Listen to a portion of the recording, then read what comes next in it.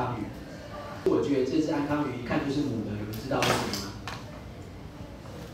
安康鱼当然其实它会有一只钓竿，有一些种类它不是固定的，是会动来动去、动来动去、动来动去的啊，然后会吸引人的。然后安康鱼它其实分布的范围很广，有一些是在很深海，有一些没那么深啊。嗯，你们知道为什么我说这只安康鱼看就是母的吗？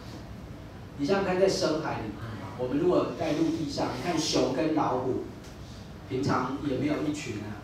可是繁殖的时候，公熊就是可以找到母熊，公老虎就是可以找到母老虎，对对不对？不行，不行，靠气味啊，靠费洛蒙啊，对不对？就靠闻的。那在海里面当然也有气味，可是它飘散的速率，它飘散的那个效用就不像在空气当中那么好。